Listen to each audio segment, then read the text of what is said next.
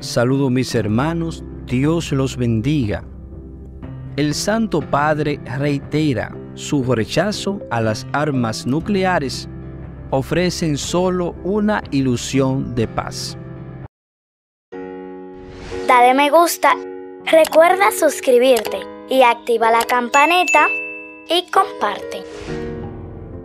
El Santo Padre ha reiterado su condena y rechazó a las armas nucleares. En una carta enviada al obispo de Hiroshima, Monseñor Alexis, con ocasión de la cumbre del G7 que se lleva a cabo en esta ciudad japonesa del 19 al 21 de mayo. Los líderes de siete de las potencias económicas mundiales se reúnen en Hiroshima para tratar en ocho sesiones la agresión de Rusia contra Ucrania, el desarme y la no proliferación de armas nucleares, entre otros temas. Así además de Canadá, Francia, Alemania, Italia, Japón, Reino Unido y Estados Unidos que conforman el G7. También asisten una representación política de la Unión Europea y líderes de otros países asiáticos invitados por el gobierno japonés. En este marco, el Santo Padre ha enviado una carta con fecha de 19 de mayo del presente año al obispo de Hiroshima.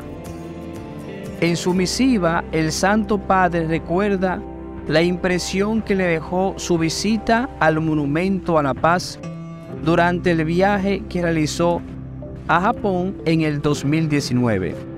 De pie allí en oración silenciosa y pensando en las víctimas inocentes del ataque nuclear de hace décadas, quise reiterar la firme convicción de la Santa Sede de que el uso de la energía atómica con fines bélicos es hoy más que nunca un crimen, no solo contra la dignidad de los seres humanos, sino contra cualquier posible futuro de nuestra casa común.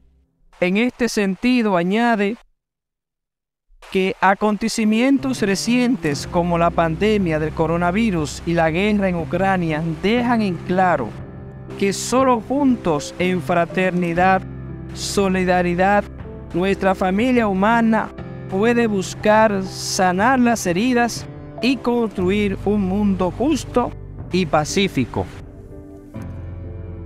El Santo Padre indica que se ha hecho cada vez más evidente que en el mundo multipolar del siglo XXI la búsqueda de la paz está íntimamente relacionada con la necesidad de seguridad y la reflexión sobre los medios más eficaces para garantizarla. Tal reflexión debe considerar necesariamente el hecho de que la seguridad global debe ser integral, capaz de abarcar temas como el acceso al alimento y a agua, el respeto por el medio ambiente, el cuidado de la salud, las fuentes de energía y la distribución equitativa de los bienes del mundo. Asimismo, un concepto integral de seguridad puede servir para anclar el multilaterismo y la cooperación internacional entre actores gubernamentales y no gubernamentales sobre la base de la profunda interconexión entre estos temas, lo que hace necesario adoptar un conjunto un enfoque de cooperación multilateral responsable. En este sentido, escribe, Hiroshima como símbolo de la memoria proclama energéticamente la insuficiencia de las armas nucleares para responder con eficacia a las grandes amenazas actuales a la paz y garantizar la seguridad nacional e internacional. Solo necesitamos considerar el catastrófico impacto humanitario y ambiental que resulta del uso de armas nucleares, indica el Santo Padre, así como los efectos del continuo clima de medio y sospecha generado por su mera posesión que compromete el crecimiento de un clima de, de confianza mutua y diálogos. El Santo Padre afirma las armas nucleares y otras armas de destrucción masiva representan un multiplicador de riesgo que ofrece solo una ilusión de paz. Los invito a compartir esta noticia y mantener oración a nivel mundial por la santa paz.